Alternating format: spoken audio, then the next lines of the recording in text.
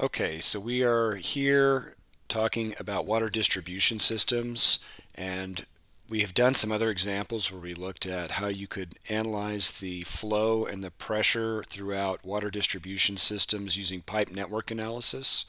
And we did that using the Hardy-Cross method where we have to make sure that we enforce mass balances at the junctions and energy balances around the loops. And we saw how that becomes very complicated when you look at big networks as they get more and more pipes and at some point it becomes impractical and so here I want to look at how we can use a tool called EPANET to do this and this is a very sophisticated tool that's developed by the U.S. Environmental Protection Agency for water distribution system analysis and it can give us the flows and the heads. It can actually also work with transient conditions where flows are going up and down versus time as the water demand changes and it can really do a lot of things. But So we're just going to do a short introduction to how it works here.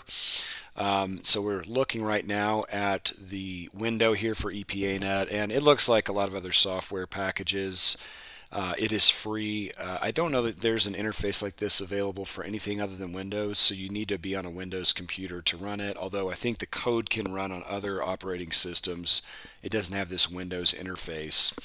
So here looking at it, we have a lot of the typical things where you have files, you can open up files, you can import data from other places to help draw like a complex system more quickly, and you can export what you have to other software to, to work with if you're writing a report or something. Okay, so these are kind of typical things you would see in a window. Um, looking at the buttons here, these are associated with printing and saving and whatnot. when we get over here, these are the buttons that have to do with kind of the commands from this window. The lightning bolt will run a simulation once we have drawn it up and gotten all the information in there. Uh, this one will make a table of information, like if you want to look at all the pipes or all the junction uh, pressures and elevations, you can do that here. Uh, these are objects to navigate around. So here we're selecting different objects and here you can grab a bunch of objects and you can move around. If it's a really big network, you can do all that here. And then these buttons over here, you can use to actually draw the features, okay, quote unquote features. This is like uh, EPANET models are made up of a bunch of different features that are all connected together to form the network.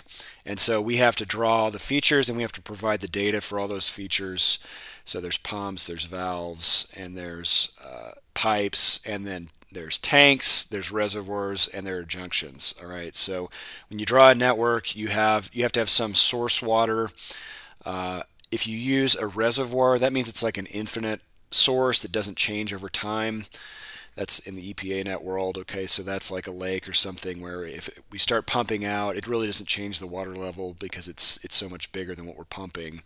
A tank, on the other hand, can change volume and water level over time, and that's more like a real water tower that you would see in a water system. And then we got our pipes, and then you can add pumps, and you can provide data about pumps and then you can add valves that may uh, restrict flow if, if you need that. Okay, so these are the key things that we're going to use to build models out of, and then we can view information and run it over here, and then we've got our typical Windows interface up here. All right, so let's start here by opening up uh, an example. That There are a few examples that come with the software, so I'll click Open, and here I'm this brought me into the examples folder. There are four of them that come with it, so we can just open that up. And this shows it here in the window. Um, this one, uh, it's kind of cramped in this setup, I guess, but there's a source water here that's a reservoir, and then there's a pump there that is pumping out of the reservoir, and then it's got this network what looks like one, two, three, four, five, six, seven, eight, nine. It's got like nine junctions, and then it goes to a tank. And so the pump uh, fills it up to a tank like you would have in a water tower. And you, you know, you pump it in here, and then the pump would maybe wait, and water gets distributed through the network over time. This is what uh, an example might look like.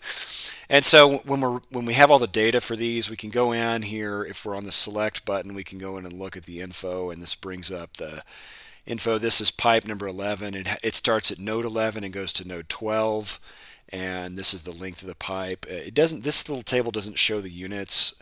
It's a little annoying. You can find the units from looking at the help for these file uh, for these um, for EPANET. So it will tell you some of the default units if you switch from like meters to feet, but it doesn't actually show it here, which is a little annoying. I would change that. But anyway, it doesn't have uh, the flow or velocity because we haven't computed anything yet. You can see those are here with this kind of yellow uh, darker color. So the white ones are things that you can go and change if you want to, and then these are things that are computed by the by the code at the end. Okay, so we can go in and change that. We can also uh, provide different labels to things if we want using the view. We can go into options and notation, and we can have it show like all the node IDs or all the the link IDs. So, so nodes here represent junctions and reservoirs and tanks and links. The word link means a pipe basically. So if I have it do that, it should show all the all the IDs of the of the different pipes here. So this is pipe 21 and this is pipe 113 and so on. Okay. So anyway, all the data should be in here that is needed to run this because it's an example that came with it. So we can just hit the run button and it will tell us if it was successful and if it's not, it will give us some information to help us debug and so here that ran, and we can go in now and we can look at the flows and the pressures at the system. And so I'm going to pull up a lot of them using this uh, table button here. And so this, it says we can either look at the nodes or the links, so we can look at reservoirs, junctions, etc., or we can look at the links. And so uh, if we want to look at nodes first, let's do that. And let's see what it said, what we had set for elevation. That's something we control, but we can look at it here. This will show the demand, that's how much that's getting pulled out of the system at that point, the head, and then the pressure, we can look at all that. I'm going to turn off the chlorine, so this is a water quality parameter, and, and EPANET can go and compute how much chlorine is left in the system. That's a kind of cool feature. We, we won't be looking at that really here, but we're just going to use it for flow. But but that's something else it can do. All right, so we've got all that. If we click OK, now it will bring up this little table, and it shows us here all these junctions. It shows us what the elevations are. It shows us the demand, how much water is being pulled out in gallons per minute, and then the head, and then the pressure at each of those points. Okay, and so you can go down here and look at all of them. Here's the reservoir. It's set at 800 feet.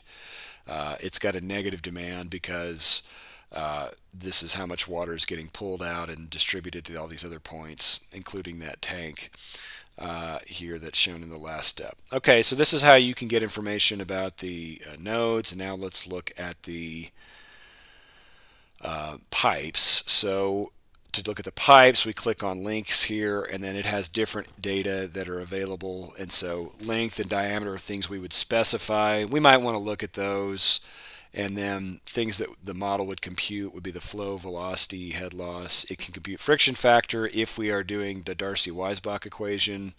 I think in this one it is not using it, so we don't really need to see that because it's using Hazen-Williams. And so click OK, and here is the information for all the pipes, how long they are their diameter, and then here's the flow rate that was computed, the velocity, and then the unit head loss. So this is like in feet per thousand feet. So 1.82 means there's 1.82 feet of head loss per thousand feet of uh, pipe, or 0.00182 it would be like the, the head loss divided by L, okay, if you were computing that. So that's kind of an overview of EPANET, some of the features, and a few other things you could do, I guess. Let's see, we could, it's kind of got a feature where it will show the direction of flow. We might want to do that. So with view, we can go in and do view options and flow arrows. And then we'll do, right now it's set at none. We'll do like filled arrows and click OK. And you can see water goes from here to there, to there, and up into the tower. And then it goes around this way